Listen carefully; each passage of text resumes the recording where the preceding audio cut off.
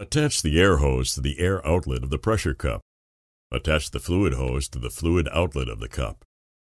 Attach the fluid hose to the fluid inlet of the fluid strainer. Attach the air hose to the air inlet of the spray gun.